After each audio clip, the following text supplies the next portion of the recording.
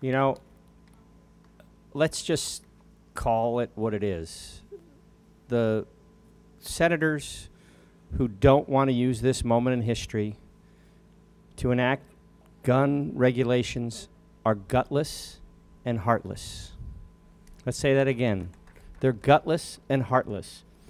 And so rather than send our prayers and use that, why don't we pray for them that they grow a spine and they use their heart?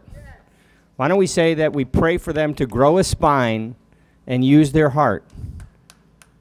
Grow a spine and use their heart. Because no parent or grandparent should send their kids to school and not have them come home safe. No teacher should be in a classroom and fear being shot. No custodian should be cleaning that classroom and wonder if they're going to come home to their loved ones. And that's where we are in this society right now.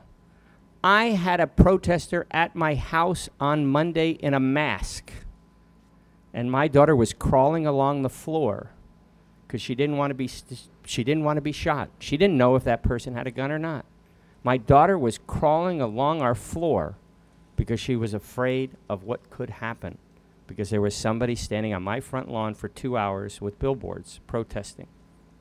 So, to those folks in Washington, grow a spine, use your heart.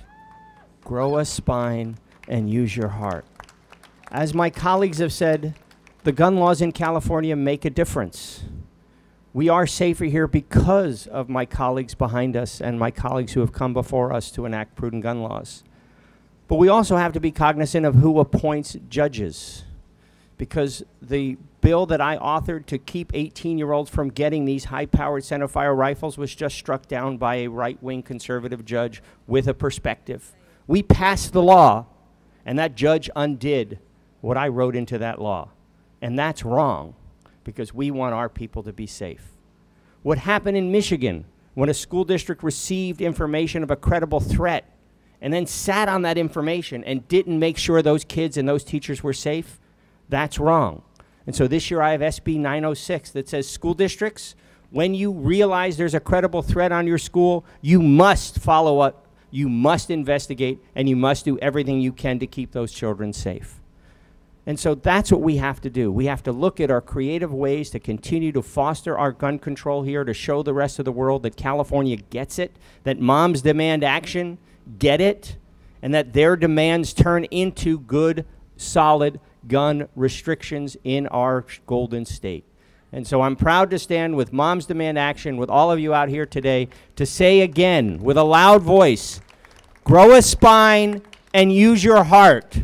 Do not wake up another day and see a dead child in a classroom or a dead teacher in the classroom because that is on your watch. Do it right. Frankly, think about your fellow man and put your prayers to actual action and make a difference. Thank you very much and God bless.